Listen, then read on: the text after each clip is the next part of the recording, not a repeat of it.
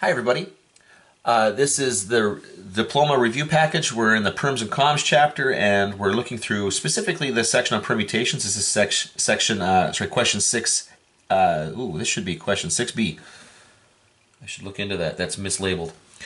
Um, what we're going to do here is we're looking at the number of ways of organizing the letters in the word success. Okay, and they have to begin with exactly two S's. Now, I already know that there's repetition here. Okay, there's uh, the three S's and the two C's.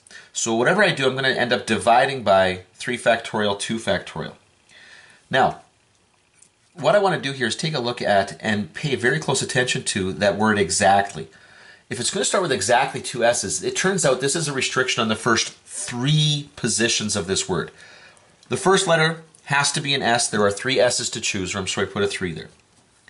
The second letter has to be an S. I've already chosen one, so there's two choices left over for, for this one. But you see, I can't just randomly choose any old letter now for the next position because what if I choose that last S? If I do, then I'm not starting with two S's, I'm starting with three S's. So I have to make sure that that third position isn't an S. And it turns out there are four options for me. There's the U, the C, the C, and the E. Now, beyond that, I don't care what order the rest of the letters come in. And so there are four remaining letters, and there are four factorial ways of permuting those letters. And so this is the number of ways we can do this if we have to start with exactly two S's. Just remember that that's a restriction on the first three positions.